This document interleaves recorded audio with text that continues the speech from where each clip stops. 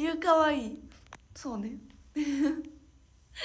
ありがとう。おめでとう。ありがとう。ギリギリギリギリ間に合ってよかったね美味しい生とりあえず美味しい生を大阪に来たらいつもより画質いいほんまにあれ？お家じゃない方がちょっと詰め込みすぎ。詰め込みすぎほんまにね。ありがとうございます。コツンによろしく。あ来てくれてありがとうございます。コツン。コツンのホームシック直します。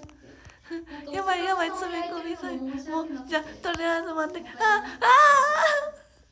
とりあえず美味しい生を見てくださいっていう感じで。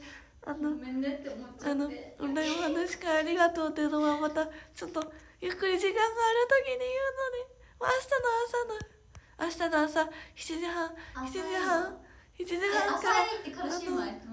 えーとあラジオ体操してます。あ落ち着いて。あはい。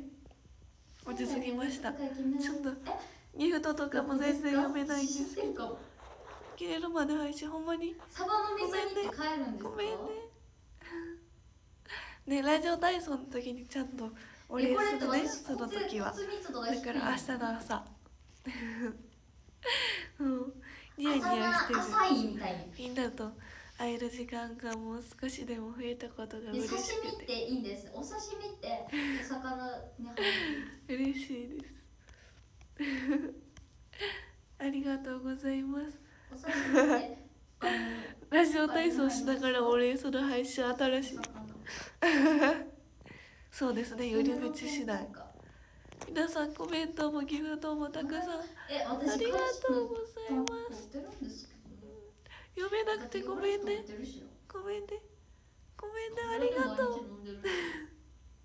幸せ者です。ブログも書いたから読んでください。たこ焼きねたこ焼きに移ってください。もう59分？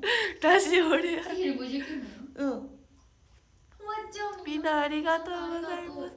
こんなゲリラ中のゲリラみたいな配信。見てくれてありがとう。また配信しますね。10分ちゃんとじゃね。ありがとう。おやすみなさい。おやすみなさい。今日は千尋の夢お魚食べます。バイバイ。お魚食べます。さよなら。あね ありがとう